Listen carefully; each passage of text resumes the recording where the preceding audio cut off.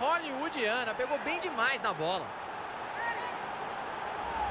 Uma bela jogada e um belo gol, Caio Ribeiro. Quando ele bateu na bola, já sabia que o goleiro não ia chegar, viu? Que golaço de falta. É, não pode fazer faltinha ali não. Tem muita gente boa para bater. Deu nisso. Show de imagens para você. Olha a repetição do gol por outro ângulo.